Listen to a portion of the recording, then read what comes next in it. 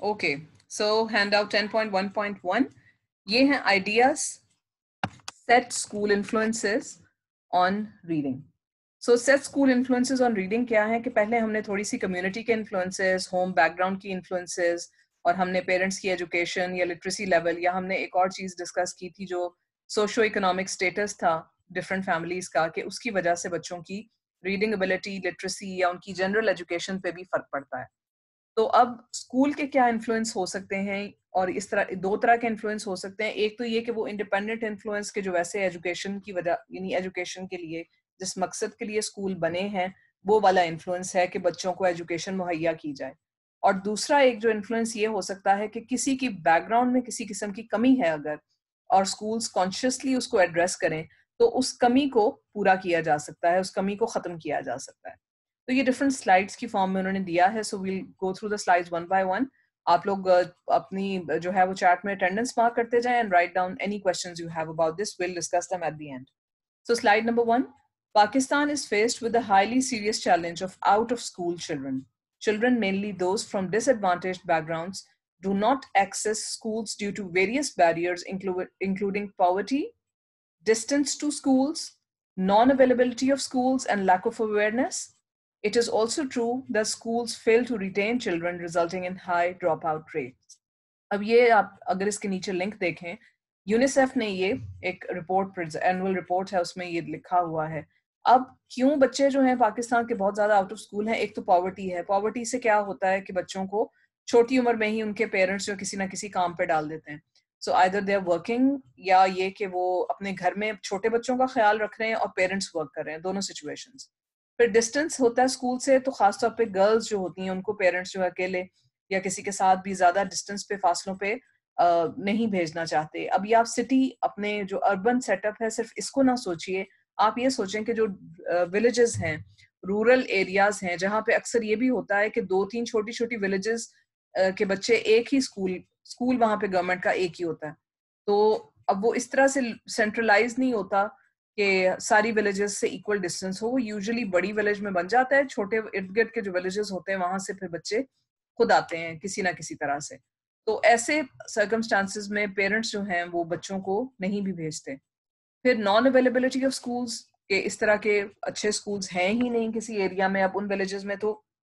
यही प्रॉब्लम है ना कि वहाँ पर स्कूल्स ही नहीं है। और लैक ऑफ़ अवेयरनेस अवेयरनेस भी कि यदि पढ़ के क्या कर लेना इन लोगों ने, खासतौर पे उन लोगों को कि जिनको जॉब्स या उस तरह की अपॉर्चुनिटीज़ की ज़रूरत नहीं होती, वो उस पर डिपेंडेंट नहीं होते, उनके अपने बिजनेसेस होते हैं या फार्मर्स होते हैं, जिनको पता है कि हमने अपना लाइवलीहुड जो है वो स्कूल एजुकेशन के थ्रू नहीं, बल्कि अपनी मेहनत के थ्रू जो है वो कमाना है। तो दे आर नॉट अवेयर कि अच्छा इसकी कोई कहीं जाके इनको ज़रूरत भी पड़ेगी तो usually they don't want to send their kids to schools अब इसके साथ साथ हमारा माशाल्लाह जो एजुकेशन सिस्टम है वो भी इतना बोरिंग हो जाता है कि स्कूल्स भी बच्चों को रिटेन करना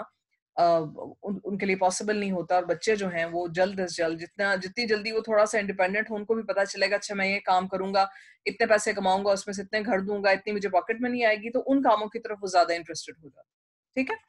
अब स्लाइड नंबर टू में है जी school combine several factors and solve some of the challenges challenges कहाँ से आते हैं जी? सोशो इकोनॉमिक स्टेटस की कमी की वजह से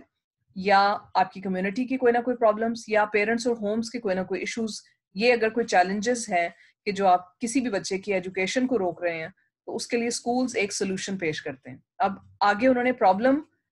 दी हुई है और उसके आगे उन्होंने सजेस्टेड सोल्यूशन दिया हुआ और हम फिर इसमें देख भी सकते हैं कि हमारे अपने कॉन्टेक्ट या अपने हमारे इर्द गिर्द जो लोग हैं, जिनको हम ऑब्ज़र्व करते हैं, उनके हिसाब से ये सोल्यूशन कितने फ़ायदेमंद हैं या कितने नहीं वो फिर हम डिस्कस भी करेंगे। तो स्लाइड नंबर थ्री में उन्होंने प्रॉब्लम दिया है कि लो सोशो इकोनॉमिक स्टेटस जिसके बारे में था कि जी उनकी रिसोर्सेज नहीं होती, उनका एक्सपोजर नहीं होता, उनके पास बच्चों के पास बुक्स नहीं होती मटेरियल्स नहीं होते। तो स्कूल इसका सोल्यूशन कैसे ऑफ़र करता है? कि at school children find reading और लर्निंग मटेरियल्स लाइब्रेरी और उनको लंच वगैरह भी मिल जाएगा। तो इस, ये उनके लिए एक इंसेंटिव भी होगा अट्रैक्शन भी होगी। तो इसलिए बच्चे फिर स्कूल आएँगे। So this is a possible solution कि ये चीज़ उनको प्रोवाइड की जाए, तभी उनका लो सोशो इकोनॉमिक स्टेटस की वजह से जो प्रॉब्लम्स हैं वो ओवरकम हो सकती हैं। स्लाइड नंबर फोर में उन्होंने कहा कि जी लैक ऑफ़ रीडिंग कम्युनिटी अब लैक ऑफ़ रीडिंग कम्युनिटी का क्या मतलब है? कि उनके साथ ऐसे इंडिविजुअल्स या ऐसी इंटरेक्शंस नहीं है कि जिसमें किसी तरह से भी रीडिंग का कल्चर प्रमोट हो। तो ऐसे में क्या किया जाता है कि school at school there is a chance of reading culture और habits positive attitudes towards reading through peers and teachers, relationship, encouragement, seeing their progress in learning or competing against each other. These are all the incentives and these are all the opportunities which the schools can provide to overcome lack of reading community uh, in the backgrounds or exposure of the children. Slide number five, positive attitudes toward reading is brought back home to parents and younger brothers or sisters. तो usually आप लोगों के भी इर्द गिर्द कुछ लोग होते हैं कि यूजुअली उनके जो बड़े बच्चे या बड़े बहन भाई ऐसे होते हैं who motivate the younger children, the younger siblings, you know, learn something to apply themselves. और कई दफा पेरेंट्स भी ऐसे होते हैं बड़े बहन भाई भी ऐसे होते हैं दे ट्राई कि उनको जो अपॉर्चुनिटीज नहीं मिले मिली उनके छोटे बहन भाइयों को या उनके बच्चों को वो सब मिले तो ये पॉजिटिव एटीट्यूड्स टुवर्ड लर्निंग जो है they bring that to their homes and their siblings and younger brothers and sisters. Slide number six, resources on children's attitude toward reading. अब यह स्कूल्स में मौजूद होती हैं। Children's attitude toward reading and literacy development इन्होंने ये links दिए हुए हैं कि यहाँ पे आप ये देख के इसको खुद पढ़ें but we can also discuss it I also share some handouts के बच्चों के एटीट्यूड्स टुवर्ड्स रीडिंग क्या होते हैं। वो uh, जो है schools can help in developing positive attitudes okay okay so उन्होंने other resources in school influence ये भी उन्होंने एक लिंक दिया हुआ है विच विल सी लेटर अभी हम बात करते हैं कि how Pakistan language and education policy has evolve अब ये भी एक अंडरस्टैंडिंग आप लोगों के लिए डेवलप uh, करना इट्स वेरी इंपॉर्टेंट कि किस तरह से पहले कोई लैंग्वेज पॉलिसी थी और किस तरह से अब जो है वो लैंग्वेज पॉलिसी पाकिस्तान की. अब से मुराद ये है कि आफ्टर द टू थाउज़ेंड और टू थाउज़ेंड टेन तक तकरीबन वहाँ तक की पॉलिसी किस तरह से है और लेटेस्ट पॉलिसीज़ जो हैं वो हम इसको ऑनलाइन भी सर्च कर सकते हैं। सो प्री 1947 1947 जब आज़ादी मिली उससे पहले क्या था कि कलोनियल रूल था और पॉलिसी क्या थी कि Urdu medium for the masses and English medium for the elite her class जो थी, वो इंग्लिश पढ़ती थी और इसी वजह से अपनी सुप्रीमेसी उन्होंने कायम की हुई थी और जो लोअर क्लासेस थी जो आम लोग थे उनके लिए उर्दू मीडियम थी तो इससे भी एक क्लास डिफरेंस जो है वो क्रिएट करके रखा जाता था। और बहुत अब, अब आपकी यहीं से वो मेंटालिटी आई है कि जो इंग्लिश में बात कर लेते हैं और जिनके जिनको इंग्लिश की जो है प्रोफिशंसी हासिल है वो लोग इलीटिस्ट हैं या उनका जो है वो दर्जा थोड़ा सा बुलंद है और खाली उर्दू बोलने वाले जो हैं उनको बस नॉर्मल और नीच समझा जाता है। ठीक है? तो this is the pre independence attitude which is seeping into our education system even till date 1947 में जब इंडिपेंडेंस हुई तो क्या हुआ? Urdu declare to be the national language अब Urdu medium for the masses and English medium for elite तब भी थी इम्प्लीमेंटेशन क्यों? क्योंकि जो अपर क्लास थी वो अपने तरीके और अपने बच्चों की एक खास तरह से अपब्रिंगिंग चाहते थे प्राइवेट स्कूल्स होते थे। उनका प्रेशर था पॉलिसी के अंदर भी उनका हाथ था इन्फ्लुएंस था। तो तब भी ये हुआ कि उर्दू नेशनल लैंग्वेज तो है लेकिन इम्प्लीमेंटेशन में अगेन ये डिवाइड कायम रही कि Urdu medium for the masses और English medium for the elite 1959 में जब शरीफ कमीशन आया तो primary and secondary education in Urdu हो गई और हायर एजुकेशन इन इंग्लिश लेकिन इम्प्लीमेंटेशन में again primary and secondary level पे भी जहाँ पॉलिसी में तो उर्दू था लेकिन जो इलिटिस्ट uh, स्कूल्स थे या लोग थे वो चाहते थे कि उनके बच्चों की इंग्लिश में ही हो तो वहाँ पे नो चेंज यानी कि इस एरिया में कोई चेंज नहीं हुआ अभी भी English medium for the elite वाली पॉलिसी ही अपनाई जाती थी। 1973 न्यू कॉन्स्टिट्यूशन उसमें क्या हुआ कि English to be replaced by Urdu within fifteen years अब ये यानी उन्होंने कहा कि जी आ, इस तरह से आप कैपेसिटी बिल्डिंग करें बच्चों की और टीचर्स की और सारे एजुकेशनिस्ट की कि इंग्लिश को रिप्ले इंग्लिश रिप्लेस कर दे उर्दू को पंद्रह सालों में। And provinces free to develop their own language policies और ये ऑटोनॉमी दी गई प्रोविंसेस को कि अच्छा अब ये सेंट्रलाइज्ड या सेंट्रल गवर्नमेंट के हिसाब से आपने नहीं चलना। प्रोविंसेस के पास ऑटोनॉमी है कि पंजाब, सिंध, बलोचिस्तान और जो है सरहद, ये अपने हिसाब से, अपनी लैंग्वेज पॉलिसी अपनी नीड्स के हिसाब से, अपने लोगों की पसंद के हिसाब से अपनी लैंग्वेज पॉलिसी बनाएँ। क्योंकि उर्दू रखनी है लोकल जबान रखनी है इंग्लिश रखनी है जिस तरह से वो करना चाहें, वो करें। लेकिन राइट साइड पे आप इम्प्लीमेंटेशन में फिर देखें कि अभी ये वही चल रहा है। यहाँ पे हाँ ये ज़रूर हुआ होगा कि Urdu medium for the masses की बजाय लोकल लैंग्वेज आ गई होगी, लेकिन एलिटिस्ट जो हैं अगेन वो इंग्लिश मीडियम पे ही चल रहे थे 1977 तब क्या हुआ कि ज़ियाउल हक के जो आके उन्होंने चेंजेस इंट्रोड्यूस कराए, उसमें Islamization and उर्दूआइजेशन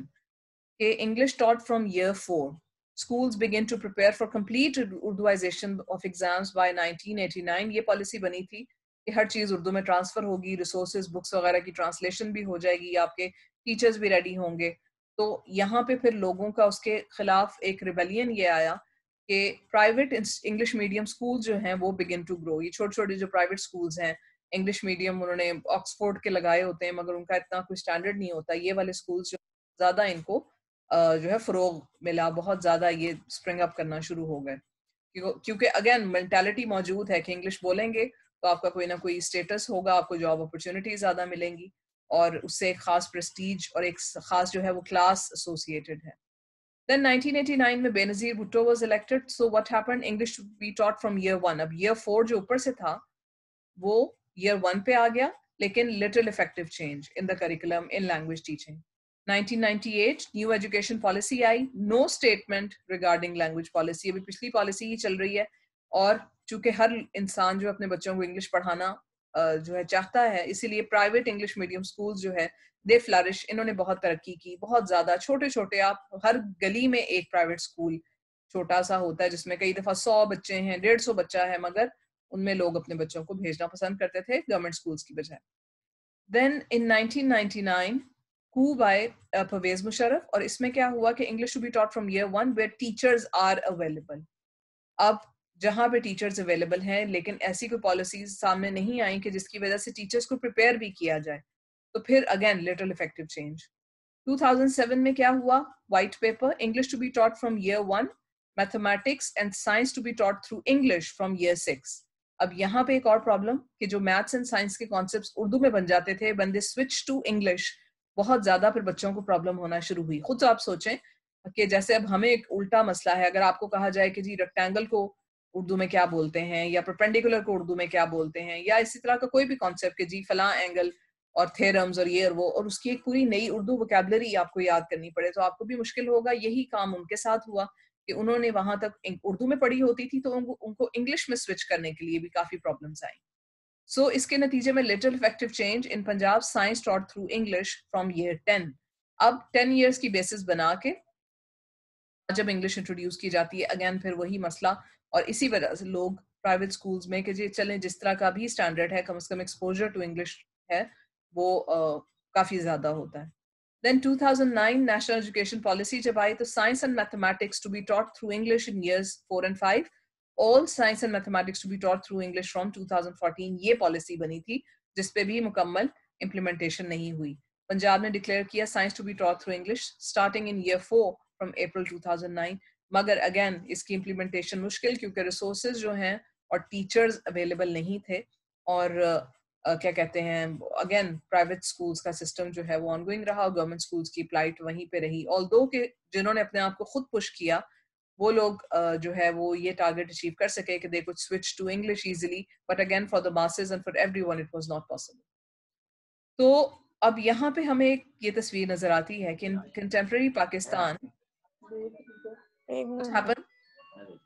Uh, in contemporary Pakistan, Urdu is the medium of instruction in government schools. Or English is the medium in elite private schools, and English is claimed to be the medium in non-elite private schools. अब English ही non elite वाले जो private वही छोटे जो school हैं, उनमें बहुत बोली भी जाती है प्रिफर भी की जाती है और जैसी मर्ज़ी टीचर्स टूटी फूटी प्रोनाउंसिएशन भी करें, ये प्रमोट भी किया जाता है कि फ्री टाइम में भी सब टीचर स्टूडेंट इंटरेक्शन इंग्लिश के थ्रू हो। Of the seventy one other indigenous languages only Sindhi has an official role as medium of instruction in primary school in Sindh and Pashto is used in government school in Khyber Pakhtunkhwa province English is a compulsory subject from year 1. In practice, however, much depends on the availability of teachers. A few government schools have an English medium section whilst in others, pupils do not get beyond learning the English alphabet in their five years in primary schools. अभी government schools की भी आपको situation बता रहे हैं कि although Sindhi is use in schooling और खैबर पख्तूनख्वा में अगेन गवर्नमेंट स्कूल्स में ये यूज होती है और इंग्लिश को ईयर वन से ही एक कंपल्सरी सब्जेक्ट के तौर पर पढ़ाया जाता है। ठीक है? प्रैक्टिस में उन्होंने लेकिन कहा कि अवेलेबिलिटी ऑफ़ टीचर्स की वजह से भी क्या होता है कि स्टूडेंट्स जो हैं they do not go beyond learning the English alphabet in the first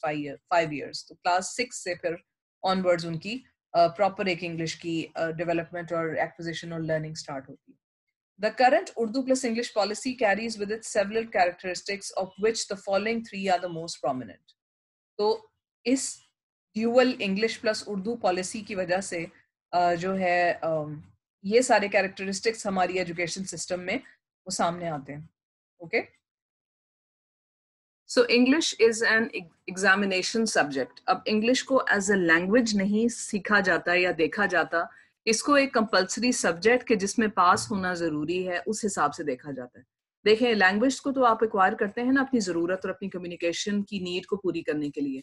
और फिर उसमें एक इन, उसके अंदर ही एक मोटिवेशन बिल्ड होती है कि जी, जब इसको हम करेंगे यूज़ तो फिर हमें कम्युनिकेशन हमारी अच्छी हो जाएगी। लेकिन जब कम्युनिकेशन के लिए वो ज़रूरी नहीं चाहिए होती, उसको सिर्फ़ एज अ सब्जेक्ट एक एक्स्ट्रा बर्डन के तौर पे देखा जाए तो आप खुद समझ सकते हैं कि किस नज़र से फिर स्टूडेंट्स और टीचर्स उसको देखेंगे।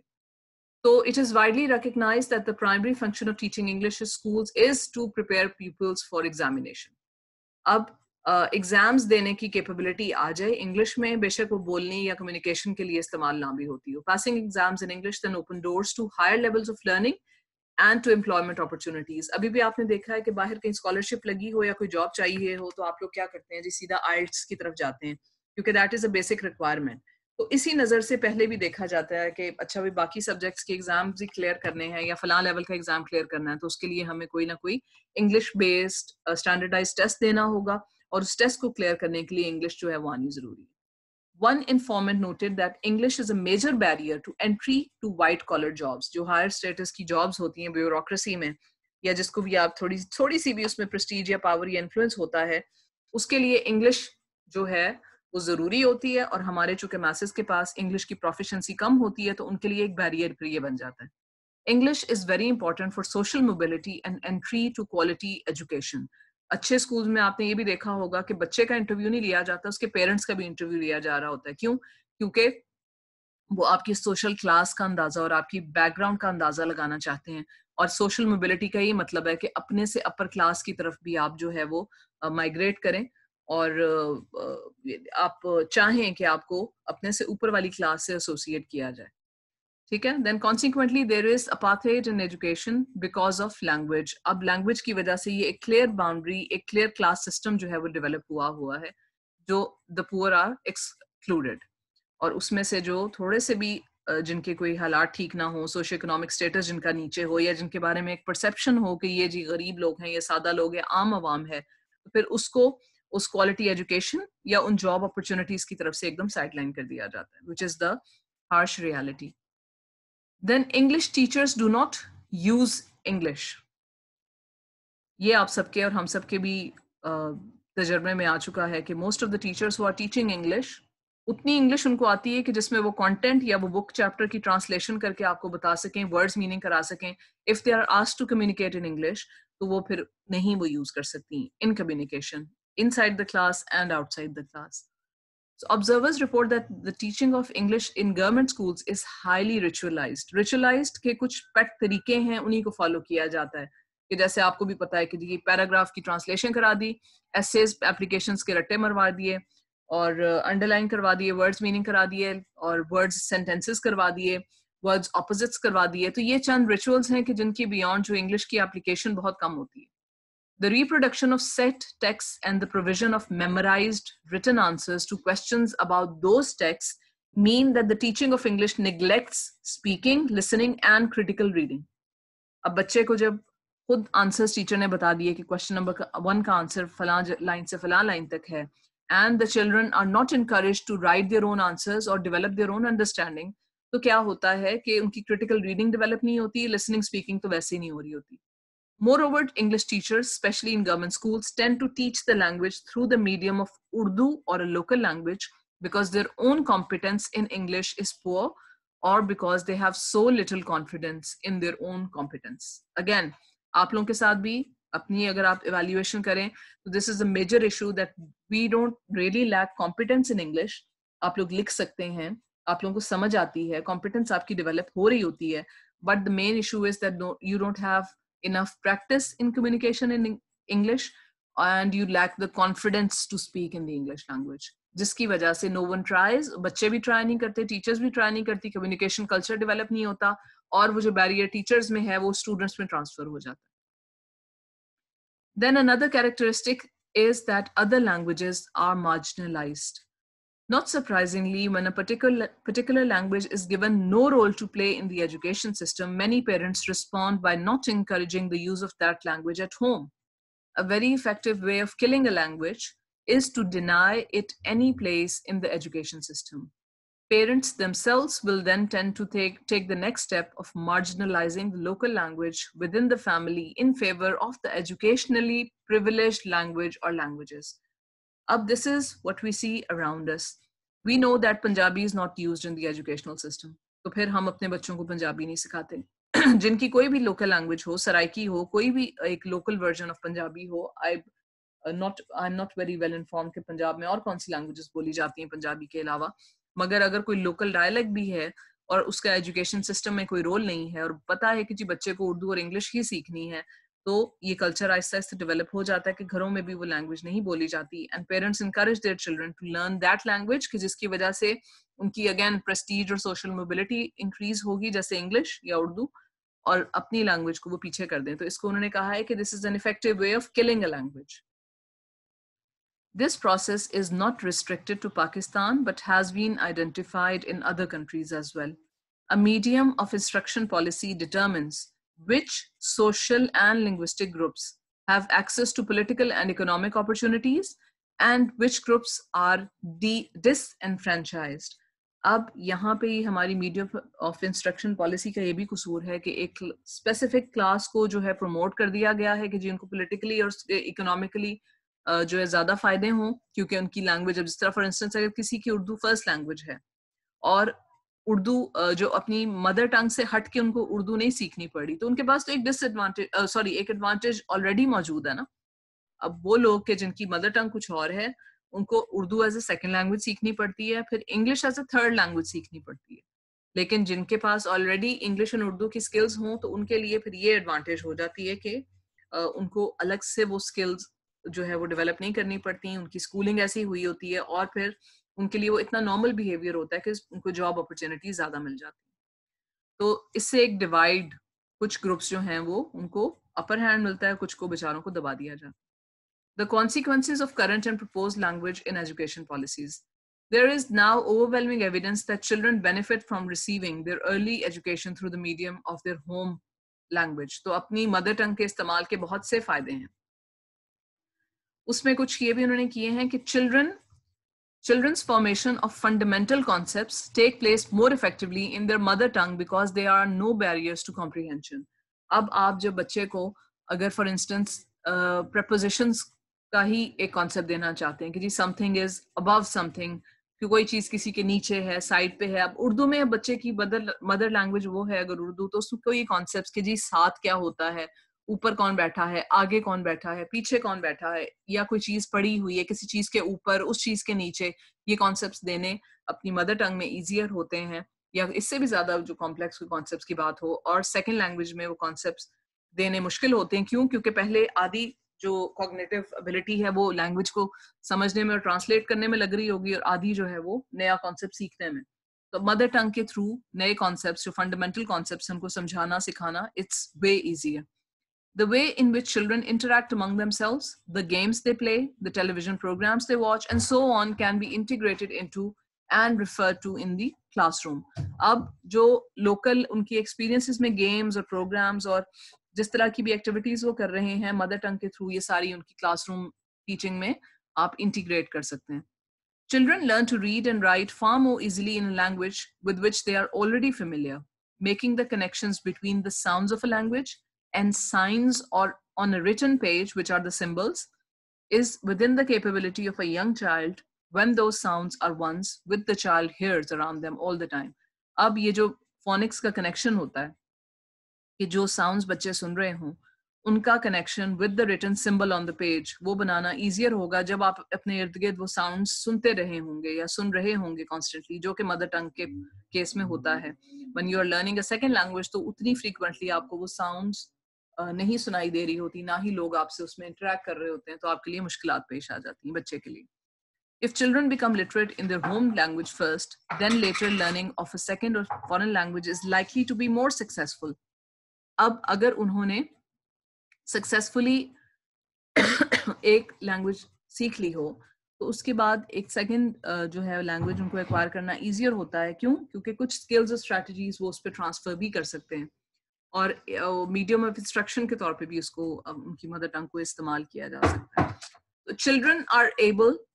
to relate the education which they receive in school to the live which they lead in their home environment अब क्या इसका मतलब है कि अपनी एजुकेशन का, अपनी रियल लाइफ के साथ वो कनेक्शन बना लेते हैं from the home environment and whatever is going on around parents are able to monitor and contribute to children's education not only is uh, what happens at school consolidated by parents but parents themselves can feel involved in their children's school development so parents could be involved karna when they have the similar kind of qualifications and education is possible uh, when the mother tongue is used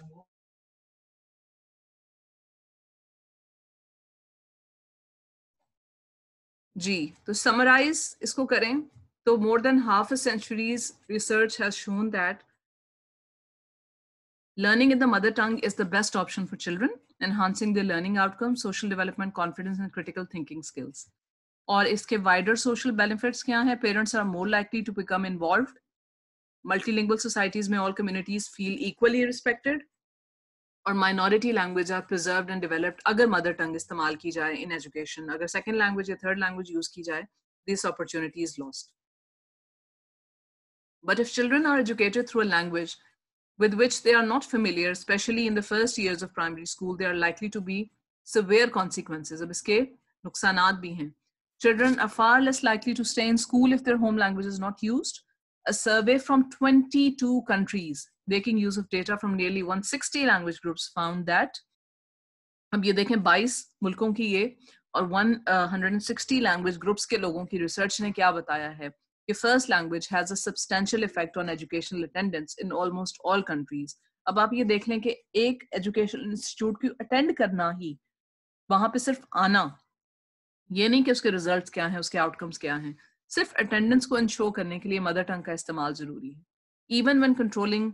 for socio economic status urbanisation and gender अगर ये नहीं है कि socio economic status की चीज़ों को भी निकाल दें अर्बन रूरल डिवाइड को भी निकाल दें या जेंडर को भी निकाल दें भी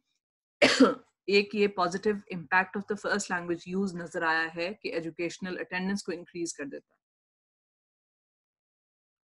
Discrepancies between the language spoken at home and the language of teaching were the major candidate to explain over half the differences in school attendance between different groups of local language speaker. Up, the worst affected uh, children were based in rural areas. जहाँ पे घर में बोली जाने वाली language और जिस language के थ्रू टीचिंग हो रही है, उसके दरमियान में डिस्क्रिपेंसी हो, बहुत फ़र्क हो तो उसकी वजह से स्कूल अटेंडेंस जो है, उस पर भी फ़र्क पड़ता है। क्यों? क्योंकि वो सपोर्ट जो बच्चों की एजुकेशन में चाहिए होती है, वो सपोर्ट उनके घरों से नहीं मिल रही होती। तो अगर पूरी इंस्ट्रक्शन ही आपकी उस लैंग्वेज में हो कि जिसकी सपोर्ट घरों से मिल रही है तो फिर एजुकेशन जो है, वो सपोर्ट भी होती है और कॉन्सेप्ट को एक्वायर करना भी ईजियर होता है। There is also evidence that girls are particularly prone to non-participation in school education if the school language differs from the home language. Mother tongue education can therefore also help to girl uh, get girls into schools ये हमने पहले भी बात की खासतौर पर rural areas में कि स्कूल्स में गर्ल्स को फिर जल्दी नहीं भेजा जाता या दूर हो या किसी वजह से अब देखें अगर घर से वो नीड पूरी नहीं हो रही एजुकेशन की तो वो बच्चियाँ जिनको स्कूल ही बड़ी मुश्किल भेजा जा रहा है उनको ट्यूशन वगैरह पे कहाँ कोई भेजेगा तो इस तरह की सपोर्ट ना होने की वजह से again non participation of girls becomes a reality so this was the entire handout and uh, you can read this on your own now once and uh, we can discuss the question uh, the any issues or any questions you have so abhi i'm pausing the recording now and we can uh, go on with the discussion